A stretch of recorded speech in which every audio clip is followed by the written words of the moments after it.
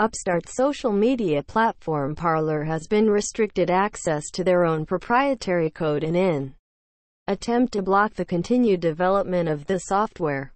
CEO John Matze told Life, Liberty and AMP. Levin in an interview Sunday night. Parler was booted off Google Play and the Apple App Store following the deadly Jan.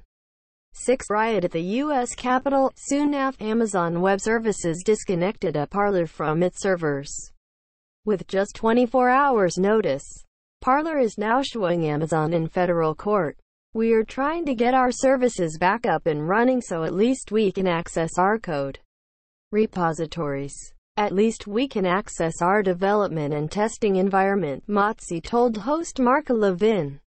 You know, this is an indication to me that seems really strange if they believed that the social media itself was a problem. Why did they shut off everything else too? Matze added. They shut off our ability to work and our ability to even access our own code and work on that.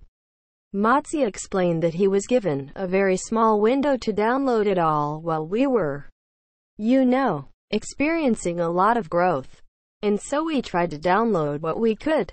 But now we don't have any more access. Amazon has cited told Parler repeatedly that a content on the site violated the two companies' agreement. Suspension was last resort to block access to violent content. Amazon Web Services is aid in a response to the Parler lawsuit, including plans for violence to disrupt the impending presidential transition. Parler is seeking a temporary restraining order to keep Amazon Web Services from blackballing Parler. It claims Oz is violating the Sherman Antitrust Act in the filing pointing out that Oz has an agreement with competitor Twitter.